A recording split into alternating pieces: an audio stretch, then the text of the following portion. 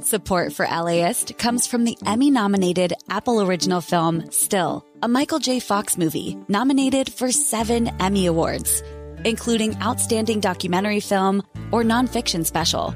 Following this podcast, you can hear Academy Award winning and Emmy nominated director Davis Guggenheim take you behind the scenes of this remarkable film. Rated R, streaming on Apple TV Plus. More at fyc.appletvplus.com. Author and humorist David Sedaris returns to the Soraya this November with a collection of new revelations. Spend an afternoon with David Sedaris as the master of satire tackles subjects ranging from adult braces to America's post pandemic attempt at normalcy. Tickets at thesoraya.org.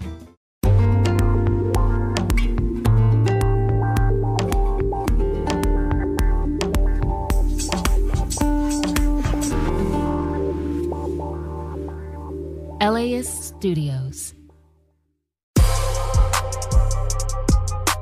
Hey y'all, this is Brian De Los Santos, and today we're bringing you a special episode from a live taping of On Point with Meghna Chakrabarti. Last week, the On Point team was here at our very own Crawford Family Forum to host a live event celebrating 50 years of hip hop. Stay tuned to hear the special episode. We hope you enjoy it. This is On Point. I'm Meghna Chakrabarti. On August 11, 1973, Cindy Campbell threw a back to school party. She asked her older brother Clive to provide the music. They set up in a rec room of a Bronx apartment block. 18 year old Clive was better known as DJ Kool Herc. Herc stood behind a pair of turntables and a mixer. He spun top hits from Aretha Franklin and James Brown, but he moved between records in a way that mixed one percussive break right into another, removing the lyrics and chorus. And with that, hip hop was born. Rapping, dancing, and DJing gave voice to a new generation of political consciousness in the black community. It courted controversy and backlash. And now, hip hop culture is so dominant in American culture, it's hard to remember a time before the beat was king. So today, on hip hop's 50th anniversary, we're going to bring you a special conversation focusing on the influence of West Coast hip hop. Tyree Boyd Pates is an historian of black culture and associate curator at the Autry Museum of the American West.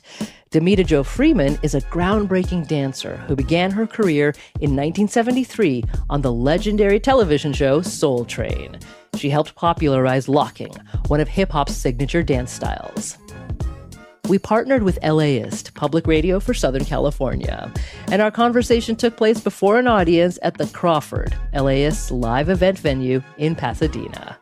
And I began by asking Tyree Boyd Pates to define the most important aspects of hip hop culture. So there's five points of hip hop. Locking is b-boying, Yes. MCing, DJing, graffiti, and then the last one, of course, KRS-One would kill me if I didn't say this, is knowledge.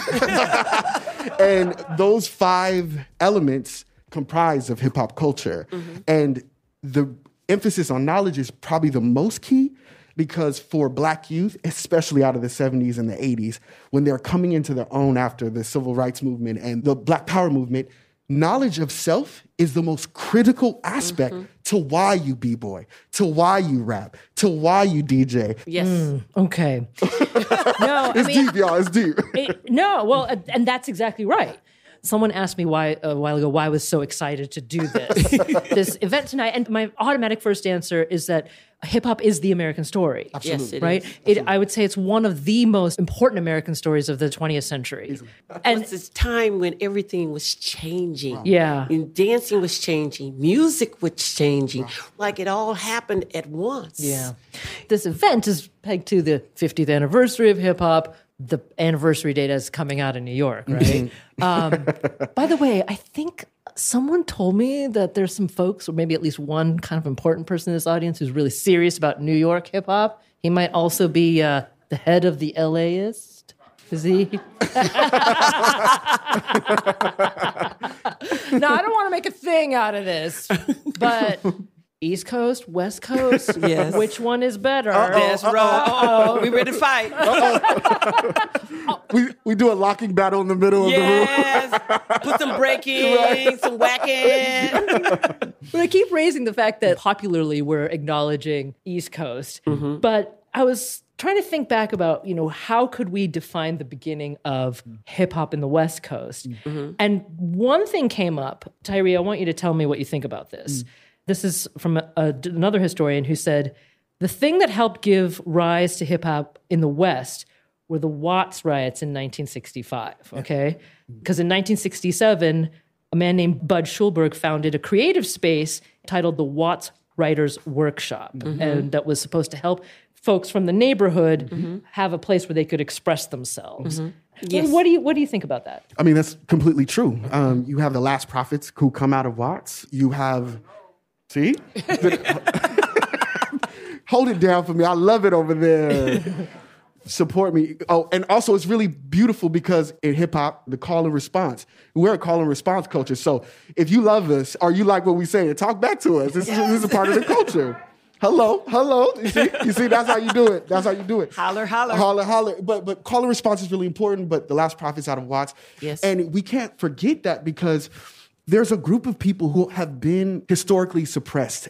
Mm-hmm. The best form of expression is creative expression. That's true. And so when you can't use your hands, you use your mouth. And when you can't use your mouth, you use your body. And that's the beauty of hip hop. And so you have to give credit to Parliament Funkadelic and what they made because most of their records ended up getting sampled by Dr. Dre and all of the other um, um, MCs and rappers because That's that's, who they grew up listening to. and That's so true. there's revolution in who they're sampling. And, and I think that's what makes West Coast hip hop so beautiful. Okay, so tell me more than both of you. How would you describe the things that distinguish West Coast hip hop from East Coast? What do you think?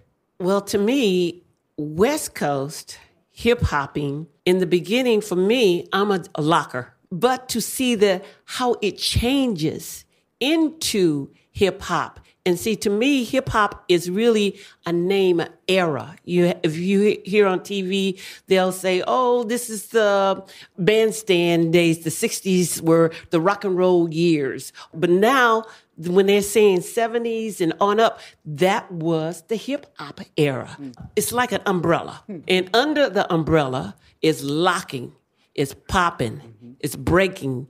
It's all of the style of dancing that the young people today are doing. Yeah. And, and what makes it West Coast, I got to give a shout out to the World Class Wrecking Crew because that's what Dr. Yeah, Dre was of course. a part of. And he, he, he- thank you. Um, you got to give a shout out to lowrider culture. That's right. That's distinctly West, West Coast, Coast. hip hop. Yes. Am I missing something? Tell me. What do y'all think? What else makes something West Coast, if you don't mind? G Funk, G Funk. G Funk, Yes. Egyptian Lover, Yes. Dickies, Dickies, Converse, Cortez. What else? What- what- Hollywood. Hollywood. Hollywood. That's right. yeah, and Central Avenue. Leimert. Oh, and hold on, hold on. and I would be remiss. Yeah. And I would be remiss because what makes LA's an epicenter for hip hop has to be mentioned about Leimert Park mm-hmm. featuring Project Blowed. Yes. And the Freestyle Fellowship and all of those great art. that, that's, those are good things. Yes. those are good things. That, that means we're hitting the notes. And Freestyle Fellowship and Murs and all of these rappers that came out from just miles down the street end up changing the face of a genre Yes. that, that's world renowned. Oh, by the way, okay, I have to just tell you, I was telling Damita this earlier. So I hadn't seen a ton of Soul Train growing up, but I was watching a bunch of videos of her dancing, and there was one that I just watched over and over and over again because A, you're like a comet lighting up the stage, and B, the man standing behind her is James Brown. Okay? And get this the godfather of soul standing behind Damita Jo. And he's looking her, looking at her up and down. You can Google this; you'll find it in a second. Looking at her up and down, and he looks like he's like, I do not know what to do. I will not be able to keep up with her. he didn't. And I didn't know what I was doing either because I never heard that song before. This was the very first time that everybody, the world was going to hear super bad. and so when I went up on the stairs when he, uh, when we started, it was like, okay, keep going. he loves to play that beat. Okay, keep going. So in my head, I'm looking, I'm smiling. I have no idea what's coming out of his mouth. and when his mouth came and when the you could feel the music when it drops. So therefore I said, Oh, change. and I start dancing. And I've just kept going. And his smile and I said, Oh Lord, I'm in trouble. I'm doing something. I don't know what I'm doing. But I just threw in the robot and I threw in so many different things. I mean, it's a it's a work of art that Yeah. you're doing there. I'm telling you. It was. Well, you know, here and here's the power of it because it, it relates to what you were saying. Even all these years later, Mm-hmm. watching that little clip as a viewer, you you feel it. You still feel it in your own bodies. That's what you were able to do across Yes. Now, I'm also wondering about the impact that the rise, spread, the development of hip hop music, dance, and culture had on the very neighborhoods here that were giving birth to it. So it was to me, hip hop is a communication. Dancing was communication. So therefore, by uh, being accepted also helped. That's part of hip hop because young kids want to be accepted. Artists were paying attention to us. We're just kids off the street, but now you're on a TV show, which there wasn't any black. There was American Bandstand, that's four black people on the show, you know, chocolate women just moving.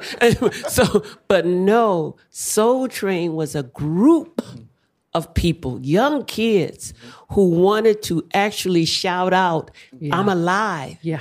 I can be a part of this world. Hip hop opened it up because it wasn't just dance, it was everything. Yeah. Yeah. Speaking about the regional elements of hip hop, particularly the neighborhoods, you got to give a shout out to Compton itself. Totally. Yes. Yeah. Um, and Yes. shout out to Compton. What Kendrick Lamar has been able to symbolize Mm-hmm. to Compton as mm-hmm. a Pulitzer Prize winning artist. Mm-hmm. Nobody in Compton ever thought they would bring a Pulitzer back to Compton, right? But that's how important Compton is to this conversation. Mm-hmm. And I was listening to some interviews uh, from Ice T, and he was alluding to how gangster rap out of the 1990s. So you think the Chronic, you think you think Ice T, you think NWA. What hip hop was in the 90s, specifically for South Central, was just journalism. Mm-hmm. Yes. Yeah.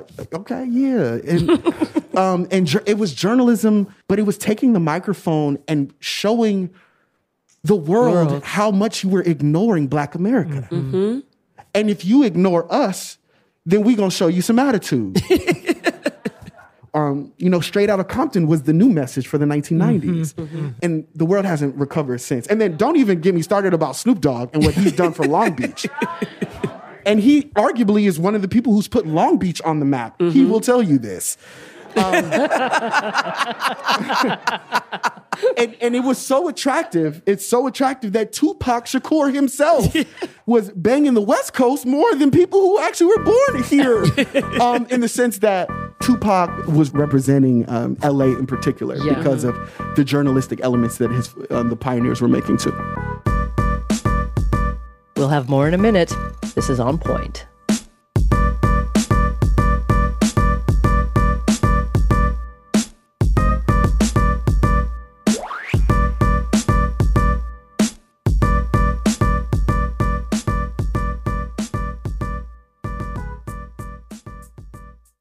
Master of Satire David Sedaris returns to the Soraya this November with a collection of new revelations guaranteed to make you laugh. Spend an afternoon with the best selling author and humorist, Sunday, November 19th. This gab session with Sedaris is sure to open your mind, make you laugh, and keep you smiling in your seats. Single tickets are on sale now and going fast. Learn more at thesoraya.org. I'm Jacqueline Stewart, host of the Academy Museum podcast. This season, we're talking about casting. And in our first episode, we'll be diving into the drama behind the scenes of casting the Alfred Hitchcock 1940 classic Rebecca and answering the question how did casting work before casting director was even a job? We'll hear from film historian Patricia White about Rebecca's legacy and how tensions on set led to life imitating art. Listen wherever you get your podcasts. You're back with On Point. I'm Meghna Chakrabarti. And now, more of our special conversation on the influence of West Coast hip hop that we're offering you today on the 50th anniversary of hip hop culture. My guests were historian Tyree Boyd Pates and legendary dancer Damita Jo Freeman. We spoke before a packed audience at the Crawford, LAist's live events venue in Pasadena, California. Hip hop has become one of the most powerful American cultural exports that's spread around the world. So I wanted to know more about how Tyree and Damita Jo would describe hip hop's global impact. Here's Tyree. When I think about hip hop's impact on the world, I think about how you could literally put revolution in one person's body mm. and have them move so contagiously that the world wants to know how they did that. Yeah. Yes. And to know that like hip hop started in the streets, in the Bronx, but had impact. okay, Bronx. um, from the Bronx all the way to have an impact on Los Angeles and then spread like the best cold you could ever catch. um, I, clearly, I caught it. No, um, but it's something that reminds me as a historian that we're living in the history right now That's right.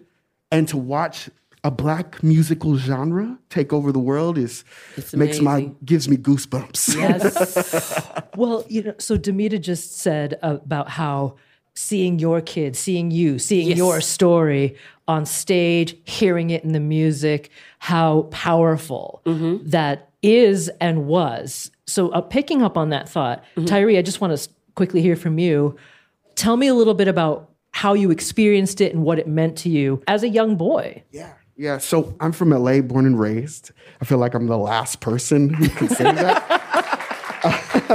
but but like shout out to the Angelinos who are listening and watching and, and stuff like that. But I grew up as a black kid in Koreatown. Mm-hmm. And like being a black kid in Koreatown in the 90s, directly after the LA riots, was definitely a time. and the beauty of it was that what was innovating in South Central, particularly when it comes to music, was spreading to K Town. Mm. And I saw black, brown, and Asian people taking a hold of the genre and making it their own in Koreatown. You have all of these people, um, our Asian brothers and sisters, who in K Town and, and surrounding areas were able to innovate a genre, but also give homage to how Yeah. black and beautiful it was. I love that. And that's what makes me me. And so I touched a turntable in Griffith Park at like a, a barbecue. And it was DJ Kidwick who like showed me the turntable. But my uncle used to play Tribe Called Quest over and over and over again in our bedroom where we lived together. And that has stuck in my DNA ever since. And um, she hasn't broken up with me yet. So, yeah. Neither have I her.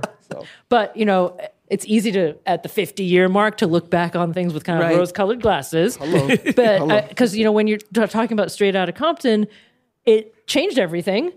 But there was backlash, Yes, was. huge backlash. Yes, was. So I want you guys to talk about that for a little bit, you know, because we're celebrating hip hop, but we also have to be mindful Yes. that it's been a journey, it's been a fight, it's been you're still pushing against the same forces That's that right. wanted to ignore your stories to begin with. Yes. I'm listening to when you're saying it pushing, the word pushing in my head.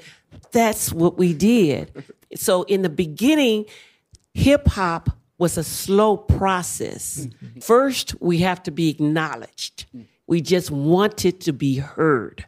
So therefore, hip hop to me, it grew into a positive mm-hmm. Yeah. to, uh, for everybody mm-hmm. because now everybody has that opportunity to strive and it's going to be hard all the way. It was always hard mm-hmm. because it took people who had visions that they could do it. And then there are people who have visions no they can't. And want to keep us down. But we kept striving and then, and we lived off the music of Yeah. ev- all these artists. I mean, now when they came out of the jail, you know, being saying their whole thing, nobody paid attention to them, and so they now are something special too. The word hip hop to me, I always thought no, hip hop is like a bunny, nice thing. because, you know, street dance, they didn't really want to say street dance. It sounds hard. It sounds black. Let's find another word. And, and a group to me saying a hip hop, a hip, hip, hip, hip, hip, hip. Don't Yeah. stop the knock it to the bang, bang, book it, jip. So it was cute Yeah. always striving to make uh instead of a whatever color you are your genre hmm. or your the words that they put out has to be likable mm-hmm.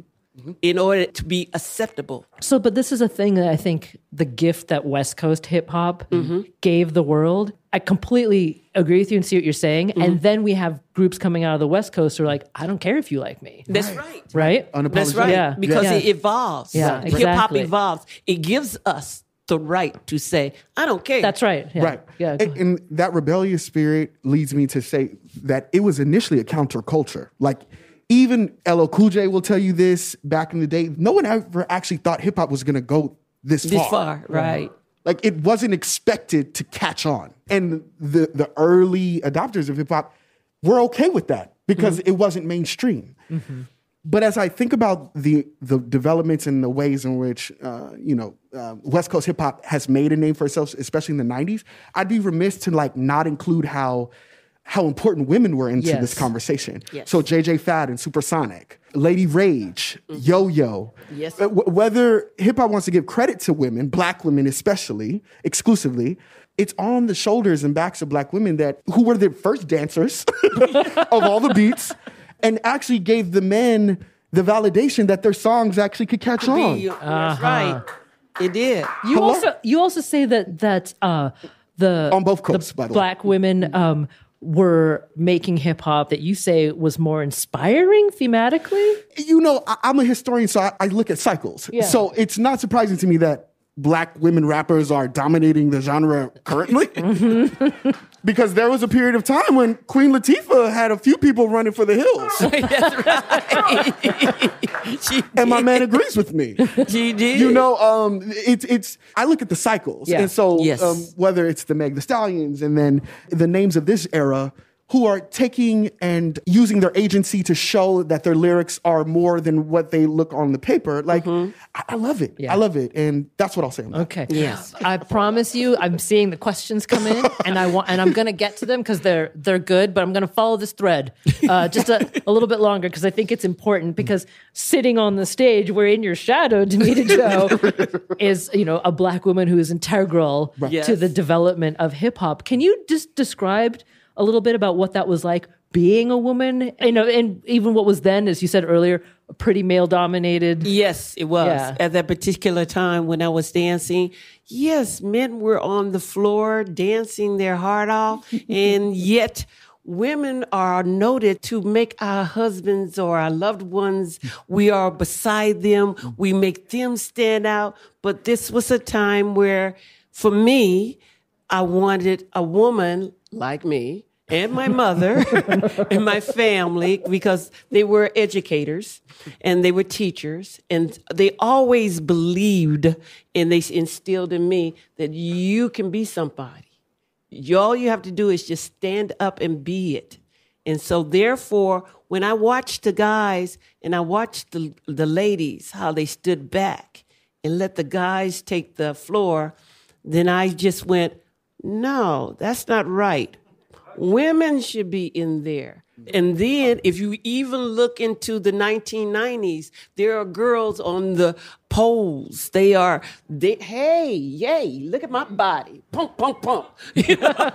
You know, so I'm just saying that uh, hip hop to women it's a growing thing. Mm-hmm. But now we're at a point we have Queen Latifah. We have all these young people who are taking the rims in rapping. Mm-hmm. So they're not just letting the guys do their little thing. Yeah. They are stepping up. Mm-hmm. Okay. Well, I want to talk a, a little bit more uh, about women and also the treatment of women in hip hop culture, right? Because Yes. we, we, I do think we have to talk about that a little Yes. bit more. Rolling Stone right now is putting out this series of top 100 mm-hmm. tracks in hip hop for different styles of hip hop. Mm-hmm. What they put as number one was Ain't Nothing But a G Thing. Okay. Hmm. According to the, the Rolling Stone editors, they say it changed everything. This is this is what they wrote. They said it made it the default style for Los Angeles, past and present. Hmm. It brought street culture to the forefront permanently and forced every hip hop artist to decide whether they were gangsters or not. Hmm. And it made Dr. Dre the undisputed king of West Coast hip hop for hmm. generations to come. Okay, so then they say the song also invokes some troubling responses. For folks who've seen the video, there's some pretty difficult scenes uh, regarding m- male treatment of women, mm-hmm. and also some of the the actual lyrics mm-hmm. in the song. Mm-hmm. That wasn't the only one in the 90s, obviously. It stands out because it was such a massive and important song. So that's also part of hip hop's history and legacy. And I wonder how you, you think through that. Well, definitely for me as a woman, I don't like that. Yeah. I don't like to be called the B word a hmm. lot. Maybe it's because of my background. Maybe I was around so many strong women. I just can't see another woman tell another woman that you're B and then use it in in a record or in a way to try to make it comfortable. But I don't like the B word. I don't like the F word. I mm. don't like all these words because you can still insult somebody or love somebody with other words. Mm-hmm. but they don't choose to do that because we're now, to me, at a time we've got to shock everybody. Um, well, misogyny is as American as apple pie. We all know this. Hip hop is a reflection of American society. Mm-hmm. And given that misogyny is as American as apple pie, misogynoir is as is as important or significant in the black community. And during the 90s, you know, Ain't Nothing But a G Thing was the song. It was the song. And Too Short has a catchphrase of which is his favorite word is a B word. Oh, thank you, thank you. and um, and as a historian, again, I, I, I look at the ebbs and flows of how misogyny has been interwoven within hip hop, but also how it's how women, black women, particularly who are rappers, have have undermined certain tropes right. of the Jezebel trope and all of these caricatures of black womanhood, and then have reclaimed it on their own terms. And again, I, I love Queen Latifah, especially the golden age of hip hop, because who you calling the right? U N I T Y. Yes. you know, and and and one we would be remiss to not look at that as a response to her contemporaries who were calling black women beasts, right? Um, but now um, the city girls are up, right? And they're calling each other the B word in an endearing way.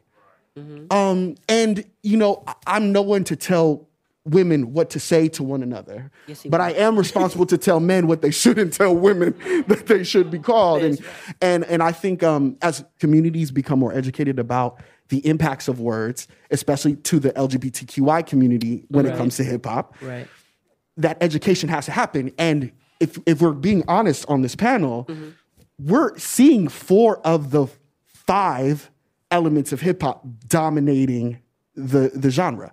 But what we're missing is the knowledge. knowledge. Yeah. No, that's true. That's true. Knowledge is a key. I, I told these two we were going to need hours. um, just to get started, actually. So let me let me let me do uh, justice and honor to some of the audience questions here. Tyree, this one's for you because you're talking about revolution, right? Someone's asking, how does white flight and the New York City financial crisis of the 1970s come into the American story? Because the question is, is abandonment by capital and whiteness necessary for revolution? What? It's the LAist audience, man. I'm telling you. You could tell. You could tell them. Sheesh. Sheesh. I thought I'd throw you a softball. That was a softball.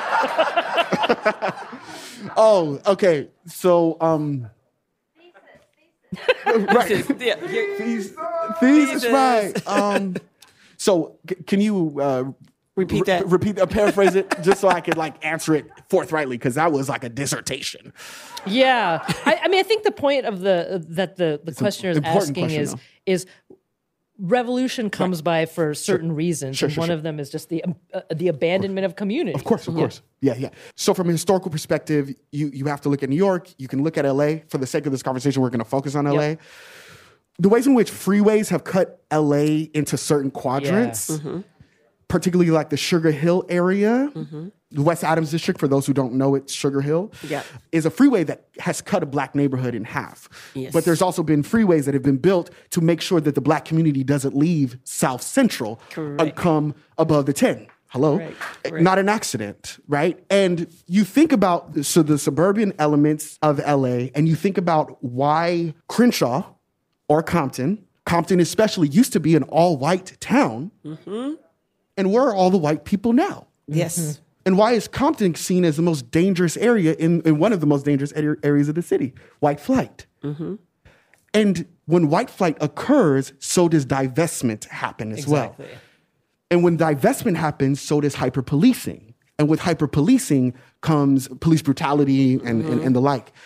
That divestment creates the music, the journalistic elements that we've been listening to for the last 20, 30 years. But to be honest, as a child of the hip hop generation, the hip hop generation will tell you we don't need you to divest from our communities to hear our voices. That's right. But America's issue, Los Angeles's issue, Harlem's issue is now pressing because gentrification is happening. Mm-hmm. Mm-hmm. So what happens? The children of those who whose parents fled through whiteness out of inner cities, and now their children are the new adopters of the genre. Yeah. And they love black culture as much as black people love black culture. Now there has to be a new conversation about homage and appropriation. But hopefully, if investment occurs while that conversation is happening, then we can get back to the knowledge base that started the genre to begin with. The talk is not enough. Yeah. for sure. That's true. Yes. Still is knowledge. I actually I want to meet that person who asked that question later, wherever you are. That was fire. By the way, that was an extemporaneous like I dissertation. I was freestyling right now. that was really cool. When we come back, the final part of our special conversation in LA about West Coast hip hop, including a surprise story from Damita Jo Freeman about an iconic movie moment. You've got to hear it. This is On Point.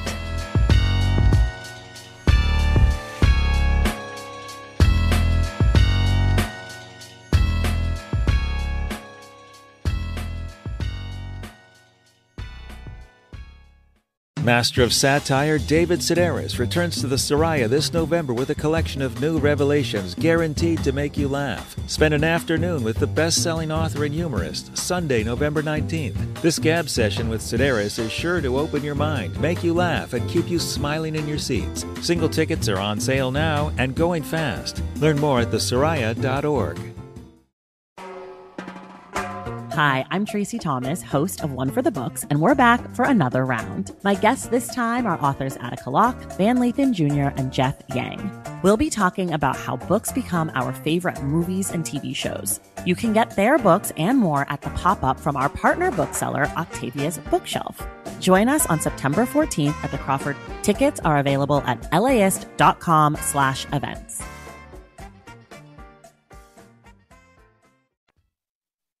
Welcome back to On Point. I'm Meghna Chakrabarti. Now, the final part of our special conversation on the 50th anniversary of hip hop. We gathered at the Crawford, LAist live events venue in Pasadena, California, along with a packed house of Angelenos passionate about West Coast hip hop. As you've been hearing, they did not hesitate to energize the room with their call and response. So it was time to take their questions. One audience member wanted to know if hip hop contributed to improved race relations today in comparison to 50 years ago when the culture first took root. Legendary dancer Damita Jo Freeman had an immediate response. Definitely. I always think that because number one, hip hop to me always gave more strength. Hmm. Mm. And so therefore, I believe that hip hop to everybody of my age, especially. and I was I'm only 36. You don't even look as old as that. Thank you very much. I'll take that. but anyway, the hip hop era to me, period, is the growth. And today, in my opinion, it is changing. Uh-huh. And I don't know why it's changing because there's so many craziness is happening in the world today. Okay. But I was just seeing that the kids are pushing through. Mm. This one's for you, Tyree.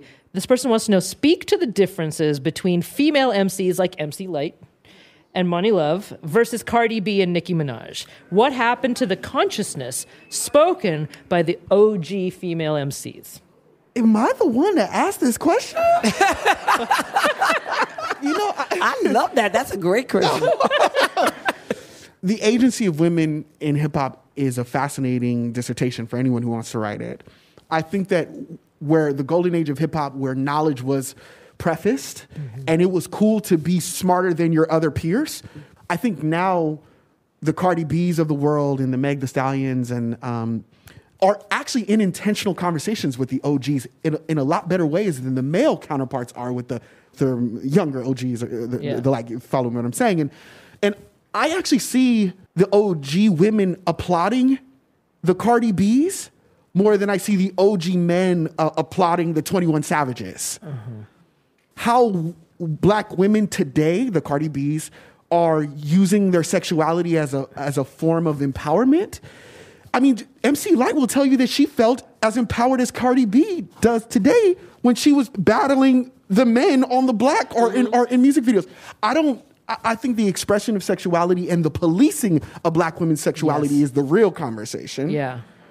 And I'm not the, the one who's going to adjudicate that discussion. but I will say that the impact is felt and the reach that Cardi B's, the Meg the Stallions, the Nicki Minaj's have today mm-hmm. is what the MC Lytes and the Queen Latifahs dreamed that their music could one day tap into. Right. And I think there's an arc that both sides of that spectrum could appreciate. Okay.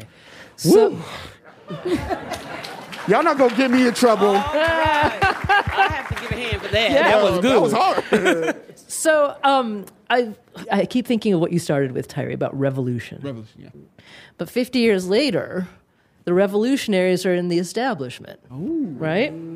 Because they are the music business, right? I think Kendrick Lamar's winning of the Pulitzer is a moment where the establishment recognized mm-hmm. the critical importance mm-hmm. of hip hop as a high form of American expression. But we also have Dr. Dre has a yeah. at USC. Yeah, he's yeah. got he's he, the, the, he, the, the young Iovine the Iovine Young Academy. Mm-hmm. But this is what we want, right? We want the stamp right. of success. Hmm. On the other hand, though, there's always the risk of a revolution losing its edge when it becomes part of the establishment. Do you worry about that? One hundred percent. Damita, can I, I ask really, you about really, that? It has a lot to do with uh, wanting this showbiz world. It's coming down to the money. Mm-hmm. That's what's turning. That's what's what I'm seeing today. Is changing. But you know, it, I, there's a conflict here mm-hmm. because yes, moving into the establishment, money, mm-hmm. they can take the fire out of a revolution. Mm-hmm. But at the same time, black Americans have been so cut off right. yes. from right. wealth yeah. building. When, when, so it's like, the success should not be penalized. You know what I mean? Of course, mm-hmm. of course. When you look at the birth of hip hop as a response to Reaganomics yeah. Mm-hmm. and the war on drugs, you actually look at how the war on drugs sought to defang the Black Power movement. Mm-hmm. So actually, hip hop was supposed to be a counter response to Reagan's administration policies. Mm-hmm.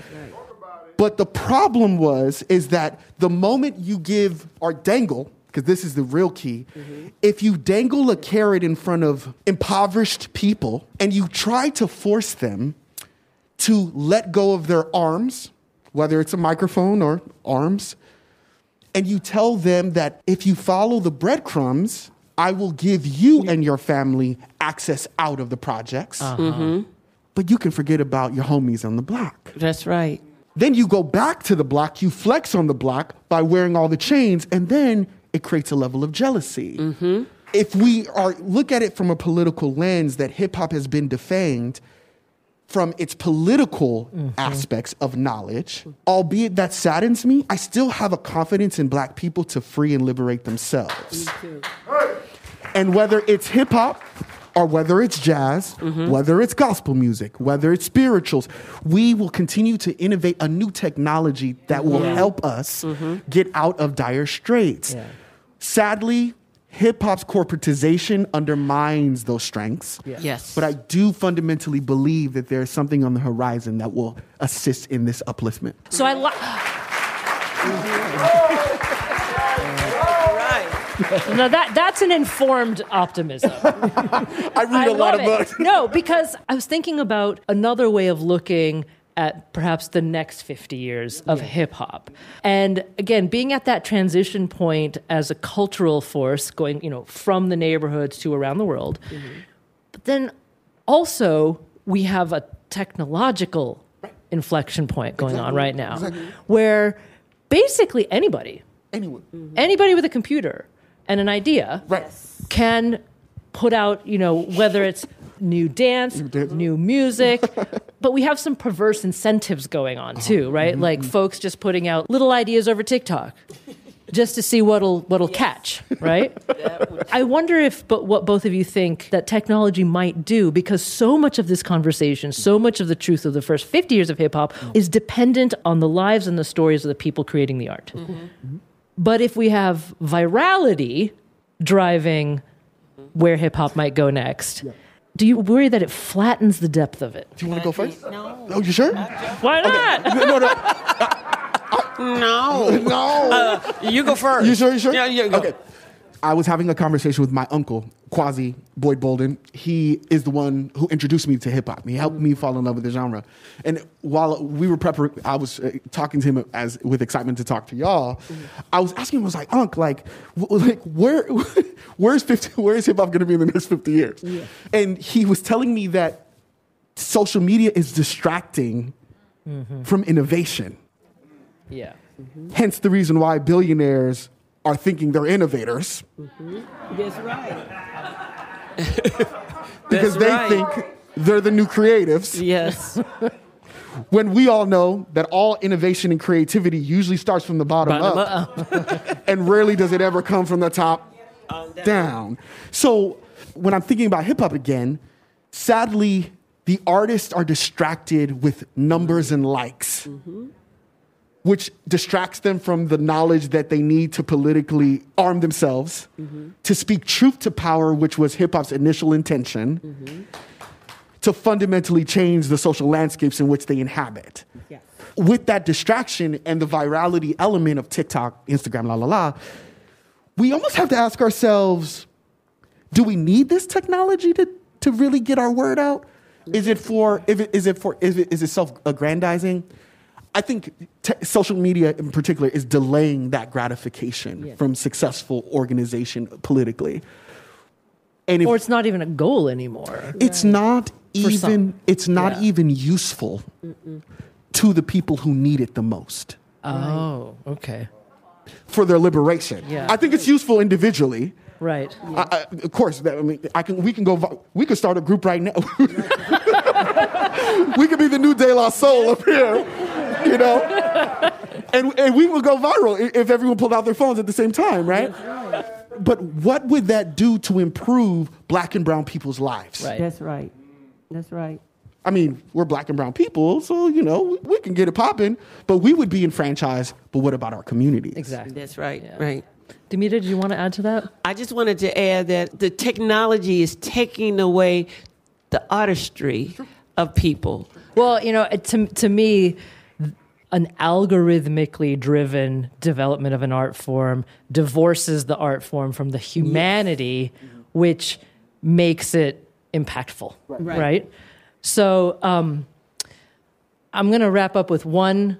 I'm going to ask Damita to tell us one more story, uh, and and then and then we'll wrap up to absorb and honor the art that's going on outside. But first of all, I, I want to say that uh, Damita Jo has a book out. You should get it. You should have plugged it. I'm gonna, it's called. It's, there you go. there you go. Yep, it's called "Are You the Girl from Soul Train?" Can you believe that? This is my book.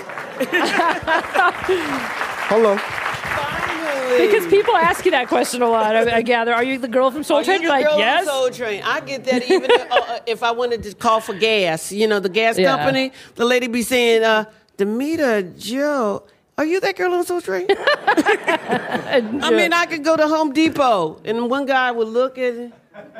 And then my mother be saying, "That man is looking at you," and I'm going like. And then he comes up and he says, uh, "I just want to know, are you the girl on Soul Train?" so that's why I called it. So are you the girl on Soul Train? And uh, it's I, I haven't had a chance to read it yet, but I'm gonna read it cover to cover because I'm sure it's full of juicy, the won- most amazing stories. things. No, I I want to close with a story from you because I am we are sitting on the stage with a true legend, and Damita Jo's impact um, spreads far beyond Yes. uh, the things that you might have known seeing her do right Yes. on on Soul Train, and. I love this story. You just told it to us backstage. I hope you don't mind. Okay. Because again, you're iconic in so many ways. and this is one of the ways I did not know See? that you are iconic, okay? And it has to do with the movie Airplane. Right. It was a movie called Airplane that everybody liked by David uh, Zucker and Jerry uh, Zucker. And I had the opportunity to come in and talk to them, and they wanted me to choreograph where it's a John Travolta uh, thing in, in in the movie. And so anyway, I don't know why, but I just came in talking jab or talking to them, you know, using uh, crazy words. And one brother would look at me and go like, "What did she say?" and so the other brother looked at Jerry and they said, "Why don't we put that in the sh- in the movie?" You know And, the uh, scene. And, I, and she said that they started creating in front of me, talking about okay. no, the- you were creating for them. Well, I've already given them the idea, but anyway, she the uh, one starts saying, "Yeah, we can have the stewardess." In a way, ask you know tea, coffee, or milk, and then sh- she will be talking in a way, but we get a white lady, like uh, Leave It to Beaver lady, or whatever like that, and we can uh, have her interpret what she just said to her.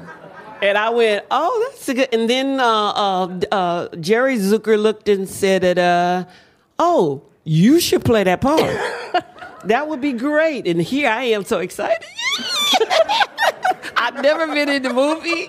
Oh my God, this is the first time. And, and then I got a call uh, at, at Paramount. And so I thought something really happened to my mother or something because I told her I was going to come. And the lady, uh, secretary came in and said, uh, uh, Miss Freeman, uh, we have a call for you real quick. And they said it's emergency. And I was going like, this was kind of weird. And, you know, I'm talking to them and I said, hold that thought. I'll be right back. And I went and I answered on the phone, and that was Cher. I was working, uh, was working at that time with Cher. But then I was uh, I was free for a while. But one of the guys hurt his leg, so she said, "Get on a plane."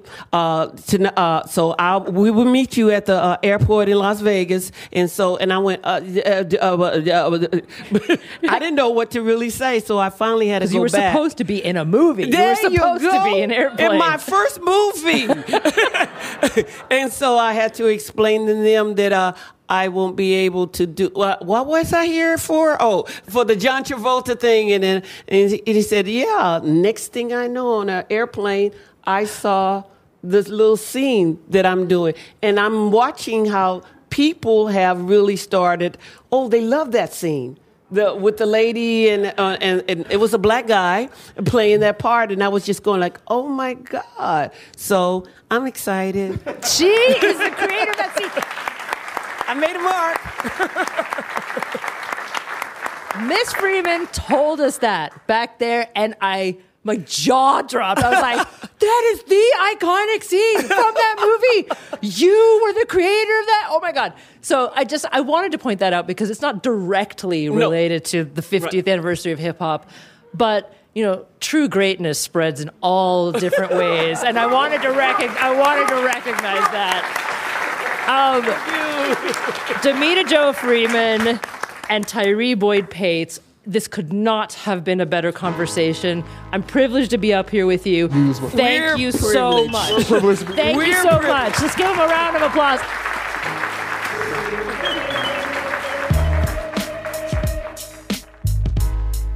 Damita Jo Freeman is a groundbreaking dancer who began her career in 1973 on the legendary television show Soul Train. She helped popularize locking, one of hip hop's signature dance styles. Her new memoir is titled Are You That Girl from Soul Train? Tyree Boyd Pates is an historian of black culture and associate curator at the Autry Museum of the American West.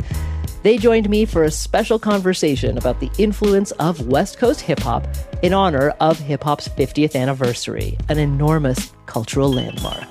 We were at the Crawford, LAist's live events venue in Pasadena, California. Special thanks to LAist's entire technical and events crew, including Rebecca Stummy and John Cohn. I'm Meghna Chakrabarti. Thanks for listening. This is On Point.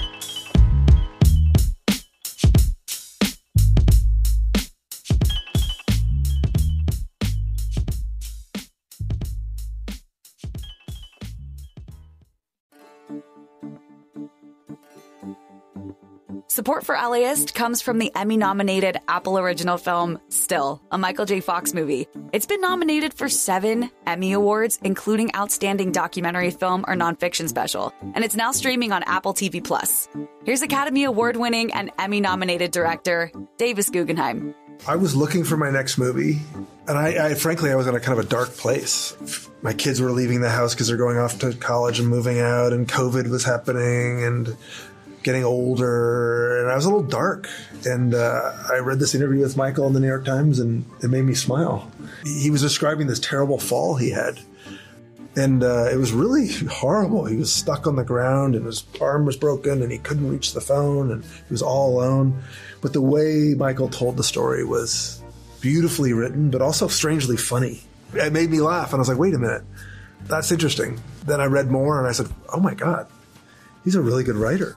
The editing of this film is outstanding. That was Michael Hart, the editor, Michael Hart, is who's um, just a genius and, and very much sort of a, a third leg on the stool in terms of the storytelling of this movie. Total Back to the Future nut and knows all of Michael's movies. Watched everything. Watched every episode of Family Ties. Watched every episode of Spin City. Everything. And started to show me scenes where, because my brain went to reenactments, and there's the movie is about half reenactment in terms of retrospective, is half reenactment and half using Michael's films to tell a story. Like there's a scene in the movie where Michael and Tracy are on a date and they kiss for the first time. You're watching the movie and you think this is when they're meeting. And the audience knows we're not tricking anybody. But Michael Hart deserves the credit for that. The way he did it, it was ingenious. What kind of a vibe were you going for? I wanted to ask this question: "Is like, can you make a documentary that feels like an '80s movie?" You know, and because I, I and when I pitched it to Apple, I was like, I wanted to have big music, I wanted to have a big score, I wanted it to be funny. I didn't know that we would use footage this way. That's Michael Hart, but the instinct to do that, actually make a documentary that's a wild ride, that was that was the instinct. What was it like to work with Michael J. Fox on telling such a personal story? Michael was a total open book. He was like, whatever you want. And it's true. Like a lot of people say, oh, ask me anything. But it really was ask me anything. And it really was nothing's off. And, and we, in, in our conversations, we went far afield. We talked about everything. The one thing he asked me was no violins, which I took to mean no pity. We don't want to make a film that's like about someone who has Parkinson's and we're to, we're to feel sorry for them.